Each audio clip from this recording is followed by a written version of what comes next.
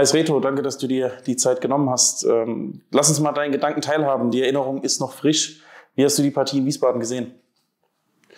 Ja, ich glaube, ich äh, habe schon eine Menge darüber gesagt und äh, wir, wir, haben eigentlich über 90 Minuten gesehen, ja, der Plan war klar, nur in der ersten Halbzeit war er teilweise auf dem Platz zu sehen und äh, in der zweiten Halbzeit war das äh, ganz klar das, was wir vorhatten, die Aggressivität, die Abstände so zu halten, äh, eben wenn eine Reihe überspielt worden ist, dann wieder in Zweikämpfe zu kommen. Und äh, haben wir das auch fußballerisch äh, richtig gut äh, gelöst, äh, gutes Positionsspiel gehabt, so dass der Gegner ähm, ja wirklich sehr viel arbeiten müsste. Und äh, was man auch gesehen hat, dass wir eine, sehr gute Fitness haben, dass wir bereit sind, über 95, 100 Minuten zu gehen und äh, ja und dann auch äh, in den letzten Minuten das 2-1 bzw. 3-1 geschossen und über 90 Minuten auch verdient er sich.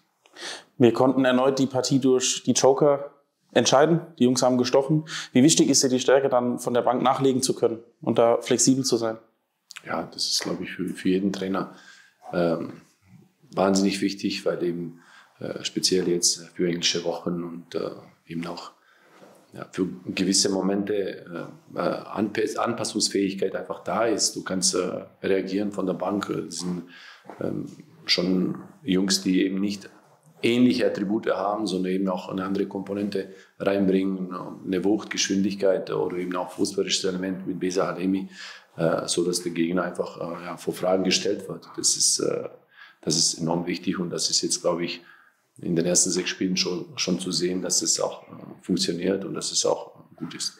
Bleiben wir beim Personal. Siehst du jetzt fürs nächste Spiel Umstellungen in der Startelf? Gibt es Spieler, die wieder fit werden?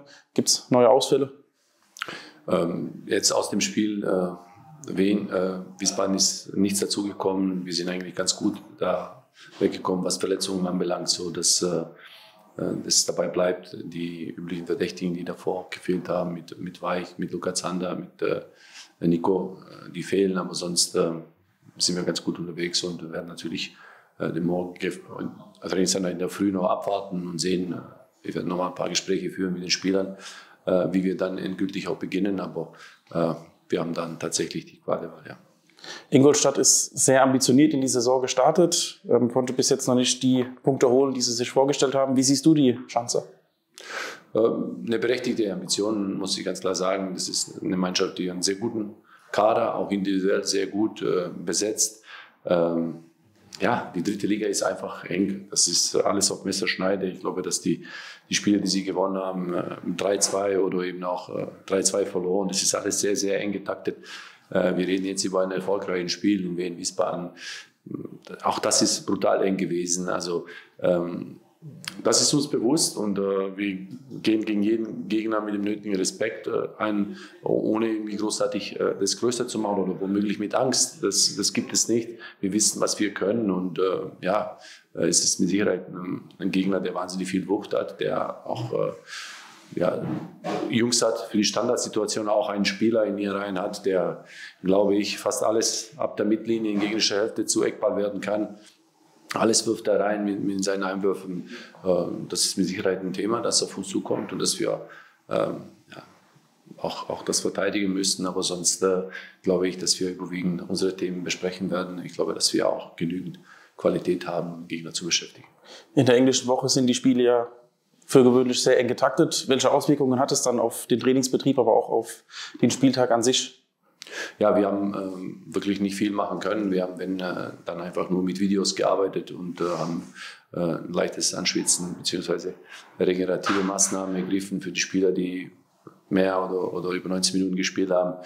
Ähm, sonst werden wir morgen früh auch nochmal anschwitzen, sodass es jetzt groß äh, taktische Elemente nicht geben wird. Aber ohnehin haben wir in der Vorbereitung, in den Spielen bis jetzt äh, Sachen erprobt und äh, sind schon klar in dem, was wir machen wollen, äh, so dass wir nicht so viel an Gegner schauen müssen.